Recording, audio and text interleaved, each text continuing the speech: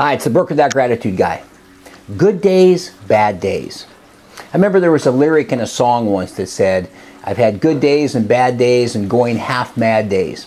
People ask me all the time, well, how come you're in such a good mood one day and a bad mood the next? Not meaning me, but them or anybody they've come in, a, in contact with, or just in general. And I said, well, you know, I've talked to doctor friends of mine before and people that know about this and the physiology, uh, physiological aspect of the human being and its, its sleep and its energy and its food and its water. And I remember once it was biorhythms and it's uh, how you take care of yourself. Do you get exercise and so forth? But here's one thing I know.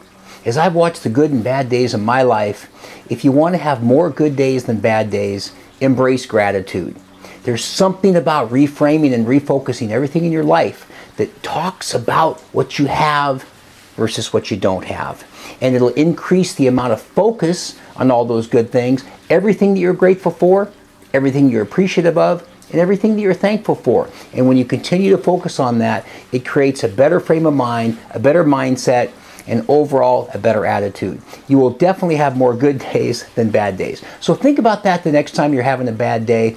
Write in that gratitude journal. You'll be amazed. I talk about a daily number I have people write every day about to describe their mood. How much by talking about what you're grateful for, that number will jump from a 5 to a 6 to a 7 or 8 or a 9 just by writing down everything you're grateful for. So the next time you're wondering about good days and bad days and even going half mad days, write in that gratitude journal, get grateful. You'll notice a difference immediately.